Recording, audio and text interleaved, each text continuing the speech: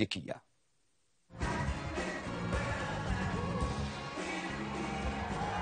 ملامح إدارة الرئيس الأمريكي جو بايدن آخذة في التبدي. ملامح نسائية بامتياز هذه المرة. فبعد حزمة التعيينات الدبلوماسية والأمنية في إدارته تظهر وجوه البيت الأبيض لفريق الاتصال الخاص به. فريق مكون من سبع سيدات في أرفع الوظائف. هو الأول من نوعه في تاريخ البلاد. هذا ما ورد على صفحة الرئاسة الانتقالية على منصة تويتر. بصيغة احتفالية أرادها بايدن ونائبته كامالا هاريس. التعيينات الجديدة لموظفي البيت الأبيض. لا تحتاج إلى موافقة مجلس الشيوخ.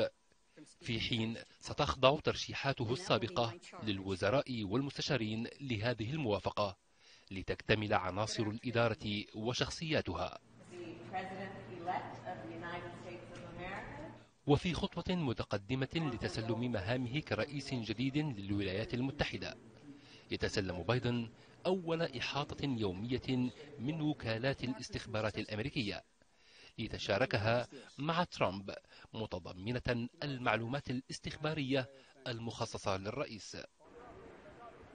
عملية الانتقال التدريجي التي بدأت منذ إعلان إدارة الخدمات العامة بتقديم أموال نقل السلطة تأخذ بايدن بثبات واستقرار لتبوء موقعه في رئاسة البلاد. بينما يقاوم ترامب كل الإشارات والدلالات التي تفيد بخسارته الانتخابات الرئاسية.